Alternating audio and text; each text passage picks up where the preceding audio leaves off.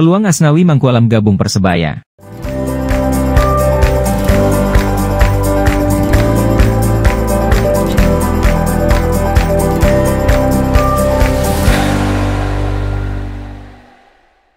Peluang Asnawi Mangkualam gabung Persebaya. Dilansir dari Surya, Co. ID, nama Asnawi Mangkualam menjadi perbincangan baru-baru ini. Pasalnya, ia baru saja berpisah dengan klub Liga 2 Korea Selatan yang ia perkuat yaitu Jo6 Dragons. Kebersamaannya dengan Jo6 Dragons harus berakhir usai pihak klub tak mengaktifkan opsi perpanjangan kontrak untuk penggawa timnas Indonesia itu.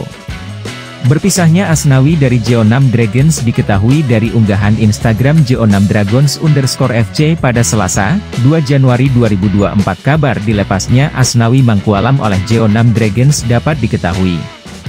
Kim Dasol, Kim Subeom, Leong Jae, Jang Sung Jae, An Junsu, Park Sung Yeol, Choi Hewon, Plana, Nikik, dan Asnawi. Yang semuanya bermain untuk Jeonnam Dragons, akan meninggalkan organisasi ini setelah kontrak mereka berakhir. Kami berterima kasih atas semua penampilan mereka di Jeonnam Dragons dan akan selalu mengenang mereka, tulis Jeonnam Dragons di laman Instagram klub terkait masa depan Asnawi Mangkualam. Tentu, hengkangnya Asnawi Mangkualam dari Jo6 Dragons bakal menarik beberapa minat tim-tim di Liga 1 Indonesia untuk mendatangkan kapten timnas Indonesia tersebut. Dilansir Surya, Co. ID dari Tribun Wow, PSM Makassar yang sempat menjadi tim yang dibela Asnawi Mangkualam pun berpotensi menampung mantan pemainnya tersebut di Liga 1 2024 mendatang. Sedangkan Persib Bandung yang sempat krisis bek kanan di putaran kedua Liga 1 2023 lalu pun bisa ikut meramaikan perburuan Asnawi Mangkualam di musim depan. Namun, ada satu tim yang berpotensi mendatangkan Asnawi Mangkualam di Liga 1 2024 mendatang, yakni Persebaya Surabaya.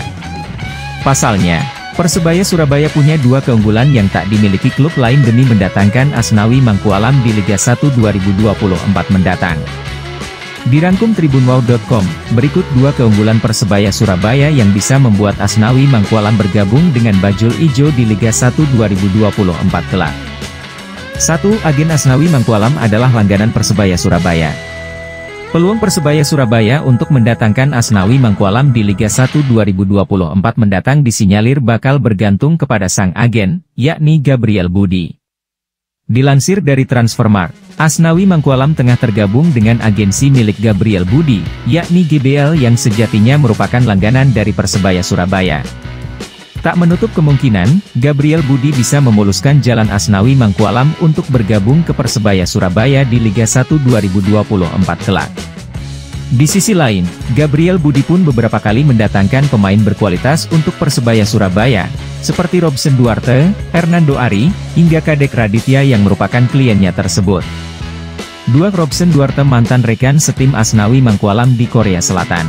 Winger baru yang jadi idola di Persebaya Surabaya, yakni Robson Duarte pun bisa ikut menjadi faktor pemulus transfer Asnawi Mangkualam ke Bajul Ijo. Pasalnya, Robson Duarte dan Asnawi Mangkualam sama-sama pernah tergabung di klub kasta kedua Liga Korea Selatan, yakni Ansan Greeners pada musim 2020-2021 lalu.